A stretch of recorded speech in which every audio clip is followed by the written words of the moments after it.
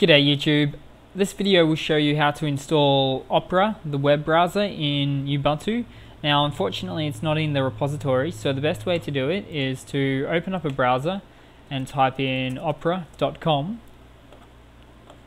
Then you'll see this link to the middle left hand side page and of the page and just click it, download, then it will ask you for your distro, of course Ubuntu, then click download, wait for it to download, I think it's about 12 meg, so it takes just a few seconds. And when it is downloaded, uh, if your web browser doesn't open it, then open up the file. And it should bring up from that point uh, the Ubuntu Software Center or a graphical user uh, interface, like a GUI Debian package manager of sorts. And then from that point, uh, just click the install button. You'll see it all there and it will go. So that's pretty much it guys. That's how you install uh, Opera in Ubuntu. Cheers.